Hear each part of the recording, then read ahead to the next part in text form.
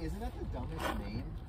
Like if you look up just rabid raccoon, it's not a race. You have to look up visit Beaver County rabid raccoon. Isn't that so